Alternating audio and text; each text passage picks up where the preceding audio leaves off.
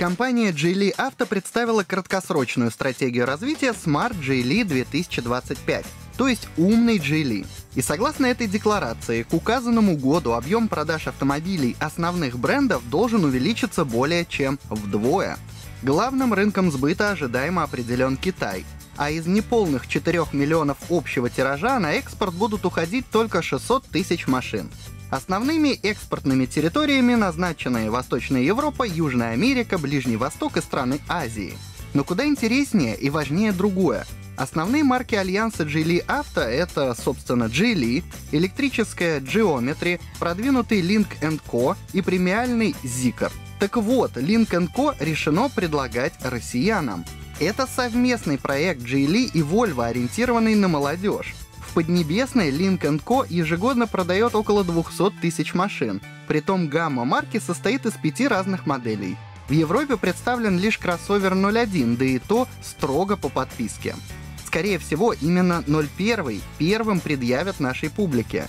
Это одноклассник Тигуана, у которого базовая линейка состоит из трехцилиндровых полуторалитровых турбомоторов. Но кроме того предусмотрена двухлитровая турбочетверка. Трансмиссия обычных версий — шестиступенчатая механика или семиступенчатый преселектив, а полный привод построен вокруг многодисковой муфты. Гибриды устроены хитрее, но, вероятно, мы их не увидим.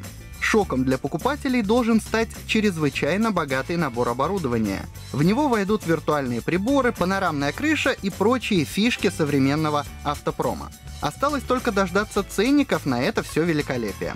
Когда их навесят? Вопрос сложный. Ведь изначально начало поставок планировалось на 19 год. Но тогда не сложилось. Теперь, если верить новой стратегии компании, сложиться просто обязано. Между тем, бестселлер Geely кроссовер Atlas готовится сойти со сцены. Российские дилеры распродают остатки модели, чтобы как только пройдут новогодние праздники, начать предлагать обновленный Atlas Pro. В гамме осталась лишь связка из 150-сильного атмосферника и 6-диапазонного автомата, однако привод передний или полный пока можно выбрать. Цена от 1 миллиона 700 тысяч рублей, и выбор вариантов крайне скромен. Что касается Atlas Pro, то сейчас он стоит дороже 2 миллионов. Но это из-за сложной силовой установки, что располагает технологией мягкого гибрида. С приходом простых моторов модель подешевеет.